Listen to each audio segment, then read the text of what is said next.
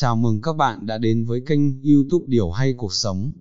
Hãy like và đăng ký kênh để chúng tôi ra mắt nhiều video hay và hữu ích trong cuộc sống.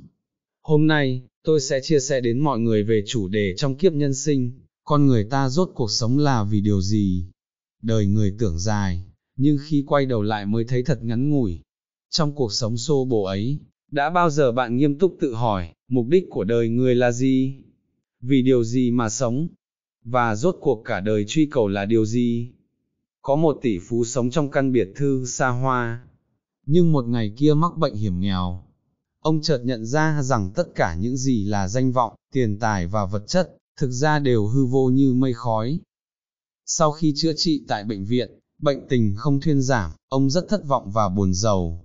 Trong lúc cảm thấy bế tắc và tuyệt vọng vì biết rằng không thể sống lâu nữa, ông bèn thử vận may tìm đến một vị danh y để xin lời khuyên.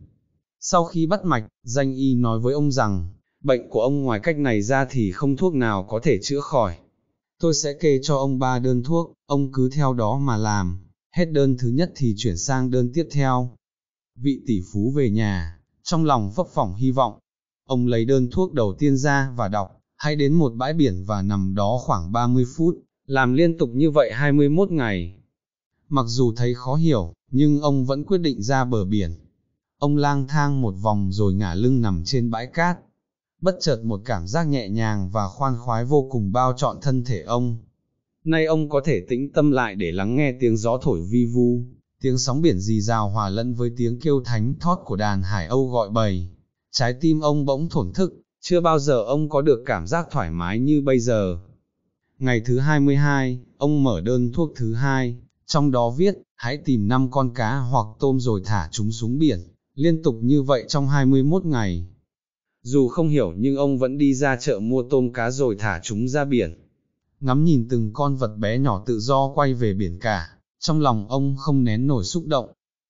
Ngày thứ 43, ông đọc đơn thuốc cuối cùng, tìm một cành cây và viết những điều khiến ông cảm thấy không hài lòng lên bãi cát. Nhưng khi ông vừa viết xong, sóng biển lại cuốn tất cả trôi đi. Ông lại viết, sóng lại cuốn, lại viết, lại cuốn đi, rồi lại viết và lại cuốn đi. Ông bật khóc nức nở vì chợt hiểu ra tất cả.